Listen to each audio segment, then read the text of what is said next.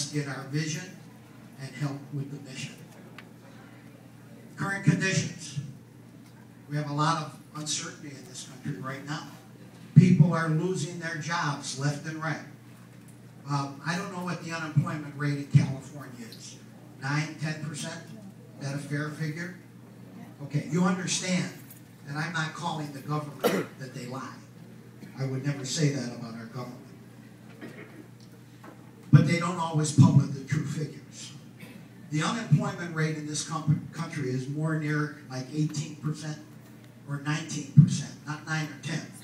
That's because when the government publishes unemployment figures, they don't count people who were on unemployment, collecting benefits, exhausted their benefits, and are still not working.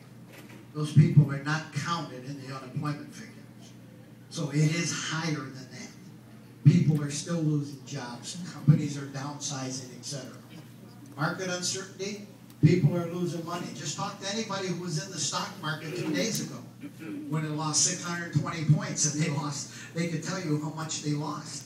It is a roller coaster with investments and future. Everybody is worried about their future. People right now are looking for a change. They are starving for a change right now. Crisis? Yeah. Cost of living. Anybody in this room think the cost of living is going down? Going up? Continually going up.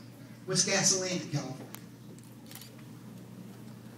Give me a figure. What? Three what? 379.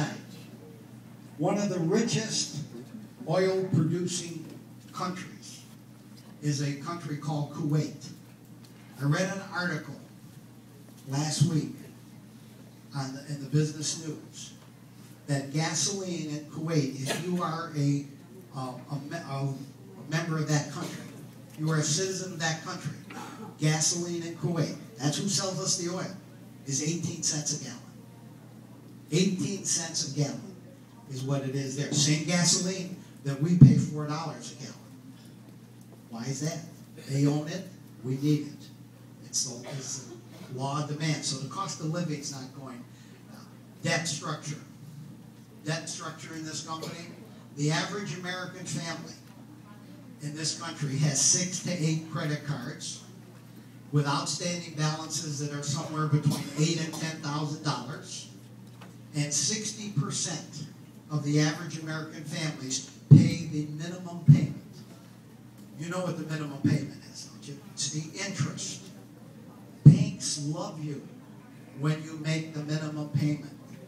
I used to work for one. If you owe them $8,000 and you make the minimum payment or just above it on a regular basis, they love you so much they reward you. You know what they do? They send you a letter and they increase your credit line.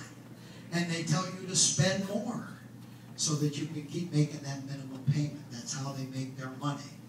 So that's the that's the debt that we are facing. If you have a ten thousand dollar balance on a credit card at the average interest rate of 14, 15 percent, and you make only the minimum payment or slightly above it, it takes you 42 years to pay that off. 40